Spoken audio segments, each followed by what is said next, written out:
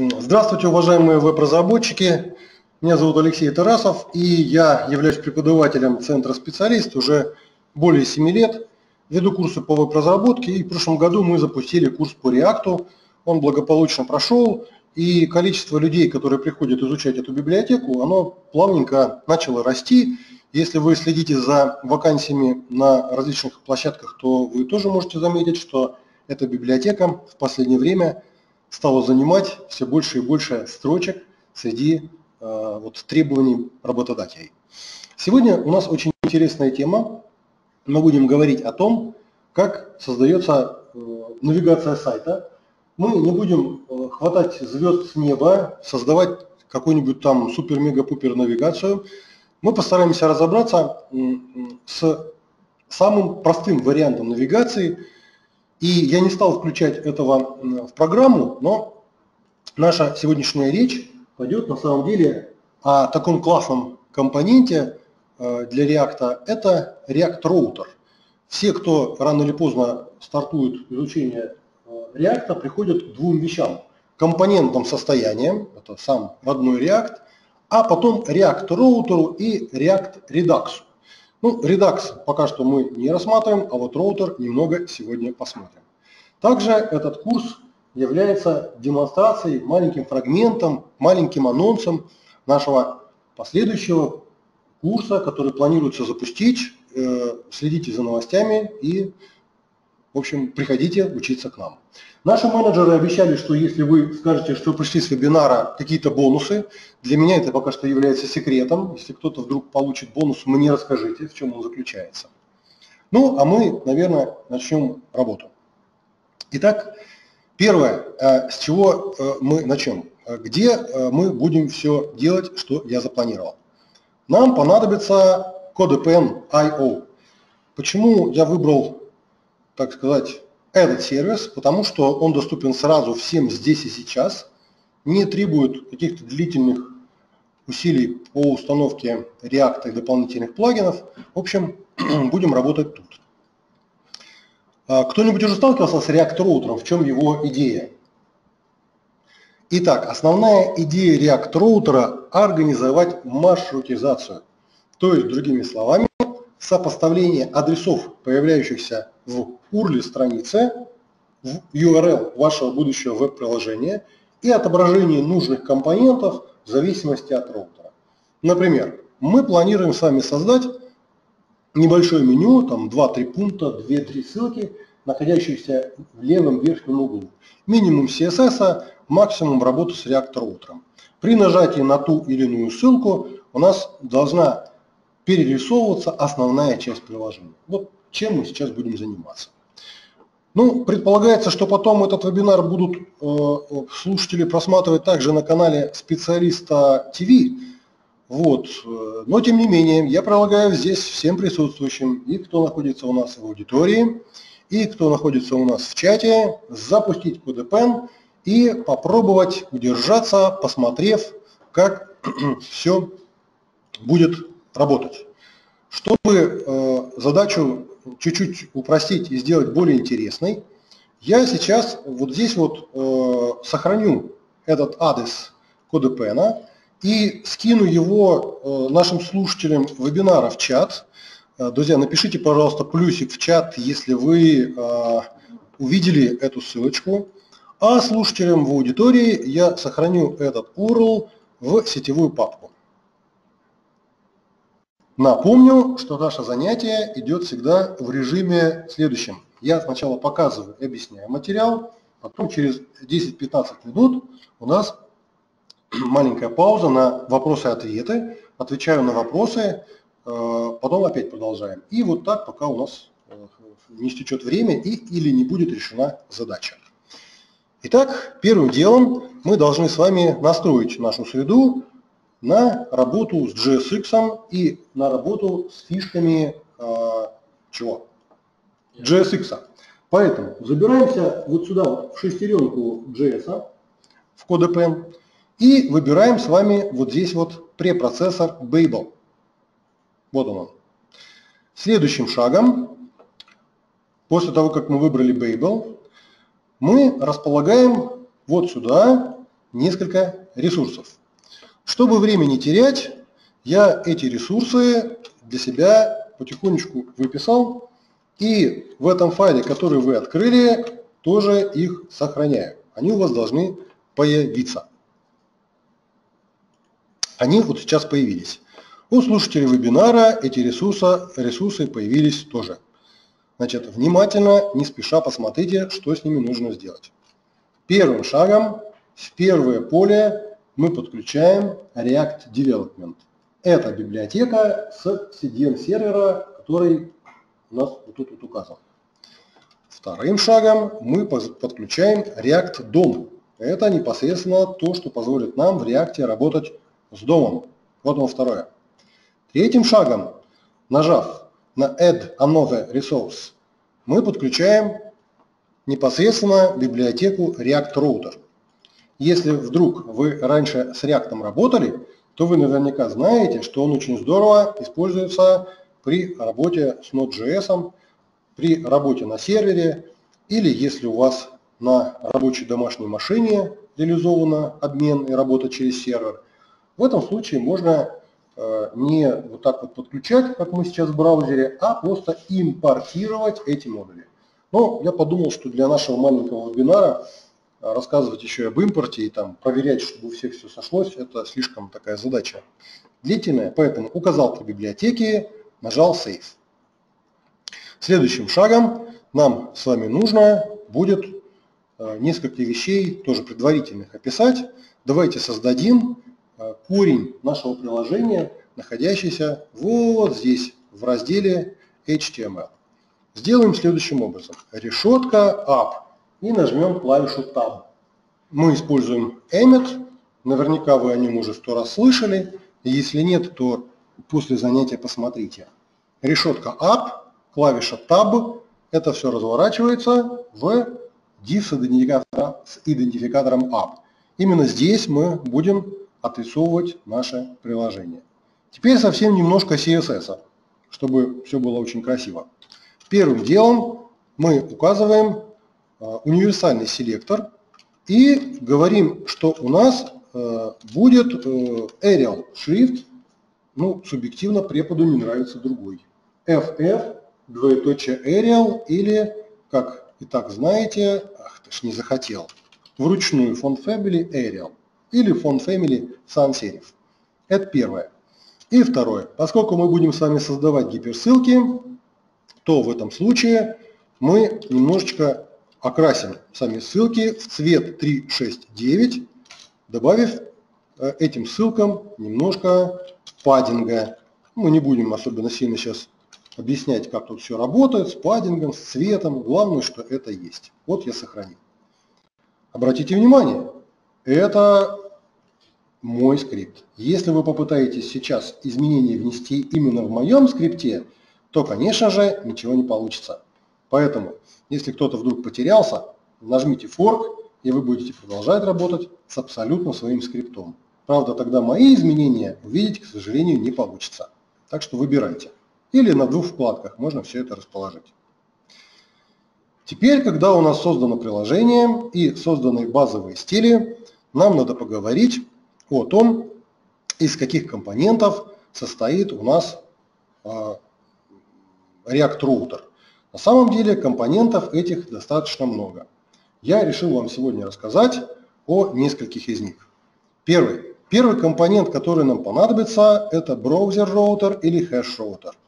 Эта штука при подключении позволяет организовать своеобразный history object, объект, хранящий историю переходов туда-сюда по приложению. BrowserRouter обычно используется для, для тех случаев, когда вы работаете с приложением таким, что на сервере находится какая-то динамическая часть. То есть там есть ASP скрипты, PHP скрипты или что-то еще. HashRouter используется в том случае, если у вас на сервере лежат обычные статические файлы. Ну там HTML или может быть там немного JS. Соответственно, нам первым делом сейчас нужно добиться э, того, что мы возьмем один из этих э, роутеров и начнем использовать. Ну, как вы, наверное, догадываетесь, какой нам подойдет больше. Конечно же, HashRouter, потому что у нас сейчас нету никакого сервера и нету никакого содержимого в виде там, скриптов дополнительных. Поэтому сворачиваем вот эти все окошки и первым делом прописываем следующее. Константа и потом мы делаем деструктуризацию. Ну, я надеюсь, вы знаете, что такое деструктуризация. Если нет, то кратенько это получение из некоторого готового существующего объекта, а именно React Router DOM, другого объекта, который у нас там внутри используется как свойство. Другими словами, вот такой кусок кода позволит нам работать с хэш-роутером. Итак, const фигурки, хэш-роутер, React Router DOM. Следующим шагом, и я совсем забыл сказать, предполагается, что мы чуть-чуть где-то когда-то слышали про React, потому что прошлый вебинар у нас был посвящен, давным-давно мы его запускали, знакомству с React, а здесь мы уже, что, уже непосредственно работаем с готовыми компонентами. Следующим шагом мы с вами должны отрендерить. Мы должны отрендерить то, что у нас э, должно отобразиться. Ну, хотя бы так небольшой кусок кода. Забираюсь вот сюда и говорю, выбрали мы хэш-роутер. Да? React DOM render метод. И вот здесь указываем хэш-роутер. Вот здесь он пошел, открылся. Вот здесь он пошел, закрылся. Есть такое. Внутри хэш-роутера мы можем указать какое-нибудь содержимое.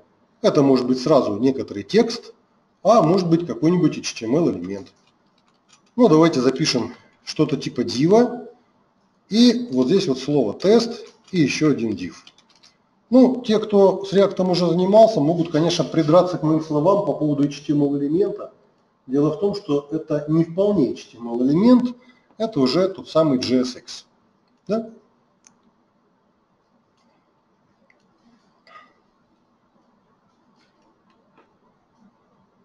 Следующей частью мы должны указать, где именно у нас будет отрисовка происходить. Мы помним, мы создавали только что контейнер для приложения.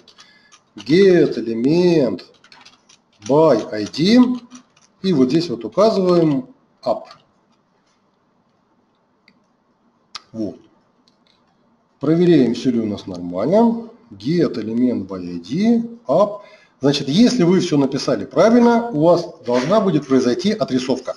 Значит, следующее, что я попробую, это все-таки пробиться через создание приложения дополнительного. Значит, а, я предлагаю здесь, ну вот Дмитрий говорит, что Роскомнадзор шалит. Вот я не знаю, у меня были такие последние два дня случаи, когда например, дома отрабатывает, в одном комплексе отрабатывает, в другом не отрабатывает. Ну, я надеюсь, это нас минует ситуация, потому что иначе наш вебинар сегодня закончится ну, не очень успешно. Итак, первым делом я сейчас попробую все сделать через приложение. К вам просьба не спешить. Поэтому сразу говорю, работа пошла немножко не по тому плану, как запланировано. Я хочу сказать, что у меня есть э, э, класс App, который расширяет React компонент и э, следующим шагом, соответственно, прописать это приложение, его метод рендер, вот так вот, а тут сказать, что у нас выводится, ну, например, какой-нибудь тот же самый div-тест. То есть я что сейчас делаю? Я зондирую, а, доступен у меня или недоступен а, мой класс app. Вот сюда теперь я прописываю что? А, это Ctrl-X, наше приложение app, слэш. Проверяем. Что-нибудь показывается или не показывается? По-моему, вообще ничего нигде не показывается. А, ты ж 5, 25. Класс app написан нормально. Return, ага. Render, return. Тут вот так вот. И здесь у меня а, вот это вот так вот. Окей. Смотрите дальше. Вот здесь вот никто не поправил, я не заметил. Дом-то у нас пишется с заглавной буквы. Оно. Итак, возвращаю, что у меня было а, в React доме вот здесь. И проверяю, а, значит, вот он у меня выводится тест. Фуф, ну хорошо, хорошо. Итак, еще раз, что мы тут сделали для опоздавших и для тех, кто, так сказать, увидел мое вот такое вот произведение. Первым делом мы импортировали через деструктуризацию хэш-роутер, компонент, который а, отвечает за статические маршруты. Следующим делом создали этот, а, отрисовали этот компонент, внутри которого находится div с некоторым текстом. Соответственно, теперь у меня при построении менюшки будет храниться вся история переходов по всем пунктам меню. Это означает, что если я буду делать приложение, которое, например, а, а, рассчитывает э, какие-то услуги. Я сегодня буду все время упоминать ипотеку, потому что на многих курсах она у меня встречается. То если я перейду на форму ипотеки, а потом на страницу About, а потом на страницу там кальк, рассчитать ипотеку, у меня будут меняться пути в, в, э, там самом, в локейшене в браузере, а хэш-роутер будет запоминать эти все переходы. Кнопки назад-вперед будут оставлять меня на этой же странице, на этом же сайте, в этом же приложении, но при этом отрисовываться все внутреннее содержимое будет продолжаться. Итак, это был хэш-роутер. Следующее, о чем мы с вами должны поговорить, это будут компоненты link и navlink. Link – это компонент, который отрисовывает непосредственно гиперссылки. То есть основной компонент, который будет создавать элементы А внутри нашего приложения. Navlink – это еще один классный компонент, отличающийся от линка только тем, что у него э, есть поддержка указания активной ссылки. Что такое активная ссылка? Если у ссылки ее href, ну то есть ее адрес, будет совпадать с той страницей, на которой мы сейчас находимся, то эту ссылку можно как-то покрасить. У Navlink есть класс, который называется active class name. И если в CSS прописать у него какое-то значение, он у нас покрасится. Соответственно, для нашей задачи мы берем все по минимуму, тут шершком, что тут берем link. Давайте зададим э, несколько DP ссылок у нас на нашей странице. Забираемся куда-нибудь э, внутрь дива, вот сюда, и создаем там, так, это покрупнее можно теперь сделать, э, элемент nav. К сожалению, Emmet тут с Babel у меня на работу его не настроена, поэтому придется э, вручную поработать. Это у меня открывающийся nav, это у меня nav закрывающийся. А внутри я создаю свой первый, свою первую ссылку при помощи компонента link. Открылась и закрылась. Вот так. Ну и э, то, что будет внутри этого компонента link, оно появится у нас на экране в виде содержимого нашей гиперссылки.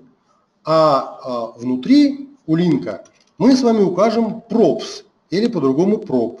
Называться он будет to. Именно эта штука превратится у нас во что? В href нашей гиперссылки. Вот все, что тут напишите, оно придет в href нашей гиперссылки. Выглядит вот, вот так. Берем и говорим, здесь у нас будет что? Слэш. Ну, я сразу проверяю. У меня сегодня дело не задалось. Опять там чего-то какая-то ошибка пишется. Я пока не вижу никаких нарушений. Дивы открыты, закрыты. Все нормально.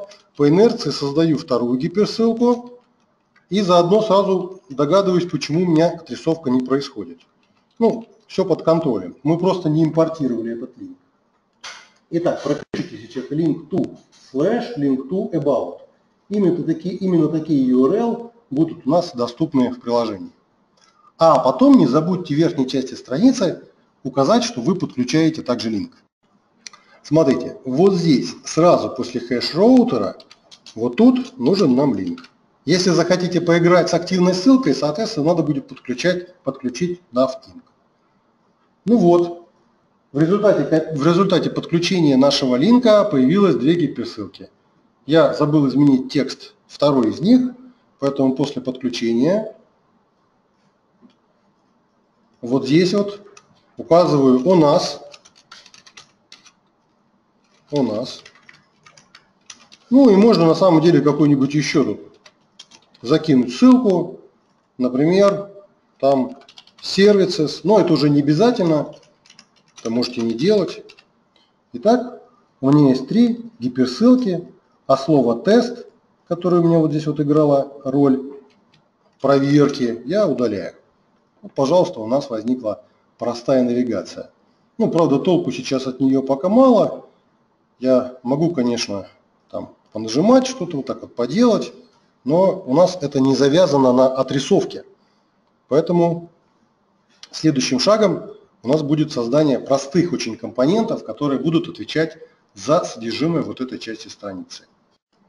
У нас прошло э, больше, чем 15-20 минут, поэтому если у кого-нибудь вопросы, пока народ набирает, если вопросы есть, можно как раз их уже задавать.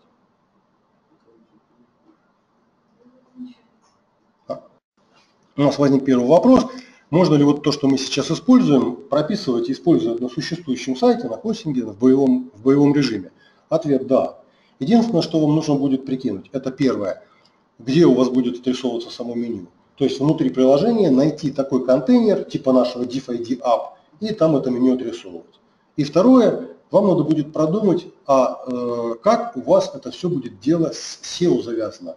Потому что React сам по себе предназначен для построения интерфейсов, в том числе интерфейсов SPA-приложений, Single Page Application. Да? То есть что вам скажет SEOшник на это? Если SEOшник будет не против, вы вот все то же самое, что мы сегодня делаем, спокойно можете прикрутить, и оно будет работать. Чем оно отличается от того меню, что будет на PHP связано, написано? Ну, э, если мы меню делаем на PHP или на других серверных языках, при нажатии на гиперссылку, вот что происходит? У вас происходит открытие новой страницы, повторная отправка HTTP запроса на сервер, ответ сервера, ну то есть на сервере большая нагрузка. Здесь же предполагается, что у вас в компоненты зашито какое-то содержимое. Ну, в нашем случае это статическое, а в случае, например, если вы делаете интернет-магазин, то там может быть какая-то динамика. Примеру, у вас есть не ссылка about или services, а у вас есть ссылка под названием product слэш, дальше идет номер товара. Естественно, что все товары магазина вы не будете хранить где-то, да, значит вы сделаете компонент, который при отрисовке будет через там Ajax или через веб-сокеты э, запрашивать данные с сервера. Чем это выгоднее, спросите вы? Если вы Ajax запрашиваете данные, вы тратите гораздо меньше трафика и гораздо быстрее это происходит, чем нежели отправлять все заголовки там, для страницы, для сервера. А если через WebSocket, вообще скорость увеличивается существенно. Вот чем отличается. Ну ладно, я думаю, что все, кто хотел, успели дописать. Следующим шагом давайте создадим а, пару компонент. Мы их пропишем до React DOM рендера, вот здесь вот. Первый компонент будет у нас называться э, const ипотека. Ипотека. Нет, мы не будем сегодня точно рассчитывать ипотеку, мы просто сделаем э, заглушечку, которая будет что-то отрисовывать. Всего лишь просто заглушка. Обозначаем ее константой, обозначаем ее стрелочной функцией и э, дальше внутри говорим, что у нас будет здесь что? Я фигурки поставил, внимание, не фигурки, круглые поставим скобки, иначе если вы поставите фигурки, надо будет отдельно писать return, а я не собираюсь этого делать. Итак, div открылся, div закрылся, а вот здесь у нас будет h2, а, ипотека, и h2 закрывается. Ну, вот, пожалуйста, это будет первый компонент. Абсолютно, абсолютный минимум кода, никаких дополнительных заморочек. И абсолютно такой же второй компонент с названием about.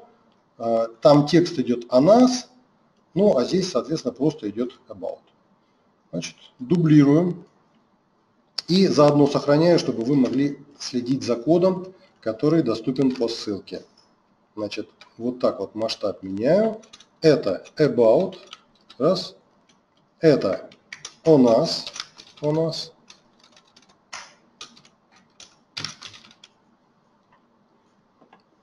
Готово. Ну, у меня не хватает третьего компонента, который я по ходу ставил, он называется Services.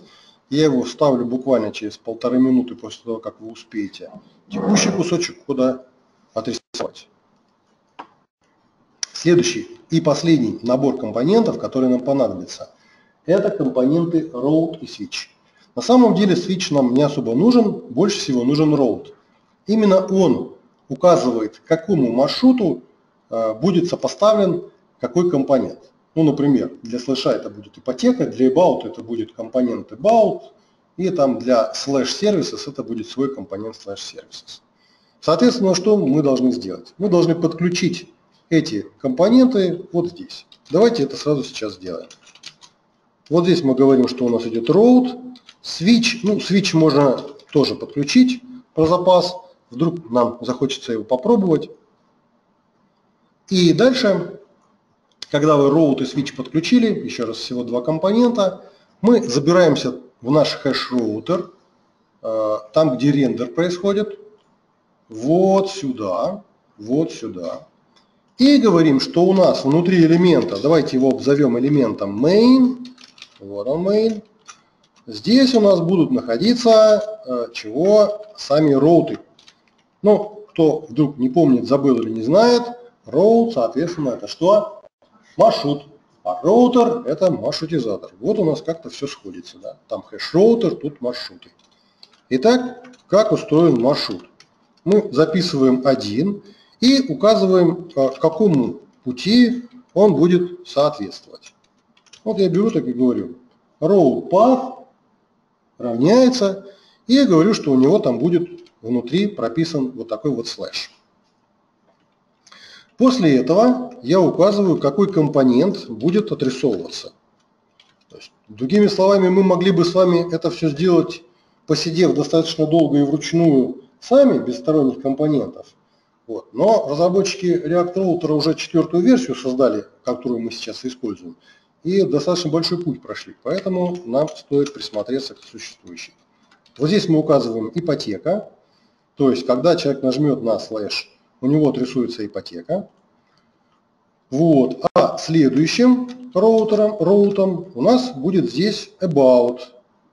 А, так, секунду, а, а я все там указал? А, да, вроде как все. Вот здесь вот будет about, и вот здесь вот тоже будет about. Ну и поскольку у меня вот тут еще services есть, да, я сейчас себе еще третий пропишу services. Вы не спешите с третьим, не надо, кто-то может запутаться, кто-то может не успеть. Services. И я его сейчас тоже там подключу. Ну, если вы успеваете и улавливаете идею, то у нас есть ссылки, которые отрисовываются, раз. И у нас есть маршруты, которые по а, href, который в ссылки есть, соответствуют, соответственно, отрисовывают нужный нам а, компонент. Остается мне добавить вот тут вот services, я его аккуратно добавляю и быстро возвращаюсь туда, где, возможно, кто-то остановился. Так, это у нас услуги. Вот как-то так должно быть. Save. Так, ну давайте посмотрим, что у нас вышло. Вот у нас ипотека, у нас услуги. Я пока что нажимаю ипотеку, нажимаю услуги, и у меня, по-моему, там особенно ничего не отрабатывает. Вот давайте проверять, все ли у нас тут хорошо. Открываю 12. О, о, о, about, он мне ругается на то, что у меня э, чего... А, какой кошмар! компоненты нужно указать не просто жалкими строками, а, конечно же, как часть выражения. Да, это недопустимая ошибка. Я ее быстро исправляю. Вот тут фигурка, вот тут фигурка, вот тут фигурка. Даже пропсы. Как можно было так? И вот теперь, когда я указал правильное название компонента и э, указал его, что оно высчитывается в выражении, у меня по умолчанию вот здесь появляется что? Ипотека, Нажимаю «Анас», у нас прорисовывается снизу что? «Анас». Нажимаю «Услуги», у меня прорисовываются вот здесь вот что? Услуги. Видите, да? Вот оно. Ну, вообще-то, не совсем так запланировано было. Еще раз напомню, что мы сейчас вот здесь вот сделали что увидели. Я немножко поменяю здесь скрипт, чтобы он... Перес... Да, ипотека остается. То есть он э, как сейчас работает? Он у нас говорит, что если у нас и вот такой, и вот такой путь совпадают, видите, да, слэш и слэш about, то у нас и ипотека, и услуги отрисовываются. В принципе, он делает свою работу правильно, но мне как-то от этого особо не легче. Я попробую сейчас исправить ситуацию следующим путем. Я скажу, что все три роута, ну у вас два роута, заключаются в switch. Switch обычно э, обволакивает несколько схожих по смыслу или там по путям роутов. Это вот раз. Проверяю. Ипотека, АНАС, услуги. Пока что у меня здесь ничего не отрабатывает. Э, в смысле, ну, движухи нету при нажатии. Но и обратите внимание, ошибки нету. То есть он что-то отрисовал. А теперь я хочу использовать такой э, своеобразный финт, который помогает э, э, указать страницу по умолчанию для нашего приложения. Для того, чтобы указать, какая страница будет главной, мы можем вот здесь вот сказать, указать props exact, exact, вот такой вот. Это позволит нам сделать эту страницу дефолтную по умолчанию. Но это еще не вся часть финта. Основная часть заключается в том, что вы дублируете route и указываете какое-нибудь стороннее название, вот здесь вот ну, дополнительное название, ну, например, это можно сказать ИПО, вот как-то так. Давайте проверю, как это все у нас работает. Ипотека, а нас, услуги, ничего не дорисовывается. То есть, обратите внимание, указали главную, главный компонент для прорисовки – это сама ипотека. Здесь а, указали резервный путь, он будет нас выручать от дополнительной прорисовки. И вот здесь у нас еще и About Services. Вот она у нас получилась стандартная, такая очень простая менюшка с э, демонстрацией работы React Итак, еще раз подытожим, что мы с вами сделали. Первое. Импортировали через деструктуризацию 4 компонента Hash Router, Link Route и Switch. Второе. Создали простейшие стрелочные компоненты, которые отрисовывают содержимое страницы. Ну, соответственно, тут в будущем у вас будет bootstrap, шаблоны, что-то еще. И потом заключили линки и роуты в хэш-роутер, в статичный э, в набор, в роутер, который отрабатывается статичными файлами на сервера. Указали ссылки и указали маршруты. Вот, пожалуйста, самый простой вариант использования роутера на странице. Понятно, что за бортом у нас остается очень много чего. Например, работа с изменяемыми параметрами в SPA-приложении. За бортом у нас остается работа по переходам, по транзишнам и по всему остальному. А, регулярки за бортом остаются. Вот. Но за 45 минут об этом во всем, конечно же, рассказать невозможно. А,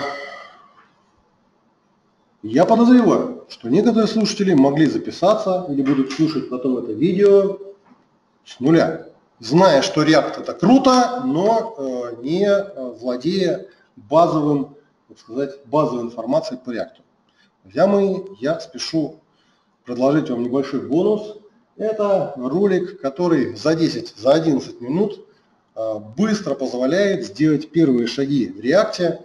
И по иронии судьбы там описывается как построить форму для расчета ипотеки. Ну, то есть я вот окончательно решил всех добить ипотекой, и вот здесь вот идет опять ипотека. Соответственно, этот вебинар бы не, просто, не прошел бы, если бы не грядущее расписание. У нас 21.05, рекламная часть пошла, грядет старт курса по React первому. Будем рассматривать самые азы. Компоненты, компоненты классы, стрелки, стейты, пропсы, всплытие состояния, самую-самую базу. Если вы это уже знаете, то пока не стоит беспокоиться, лучше дождитесь появления второго уровня. Если вы с этим не знакомы и понятие компонента вызвало у вас шок и трепет, обязательно записывайтесь по телефонам, которые у нас вот здесь указаны, и выбирая для себя формат, приходите к нам обучаться. Кажется, у нас официальное время 18.45 подходит как раз, и я перехожу к сессии свободные вопросов-ответов, когда мы сначала отвечаем на общие вопросы-ответы, а потом уже остается время, иду и поправляю код, в частности, тех, кто у нас набирал. Пожалуйста, жду вопросы в чате. Товарищи вебинаристы, спасибо за вопросы. Мы еще и посмотрели, как экспортировать этот файлик. Значит, если у кого-то будут вопросы по поводу того, когда, как стартует курс, что будет в программе и так далее, я э, отвечаю на такие вопросы на, электронной почте от Тарасов, специалист.ру. Единственная большая просьба, вопросы по самому реакту на e-mail не писать, потому что на вопросы курсов я очень не люблю отвечать на e-mail. Вот когда будет ближайший курс, какой формат обучения и так далее, я с удовольствием отвечу. С вами на этом на сегодня прощаюсь. Всего доброго, до новых встреч.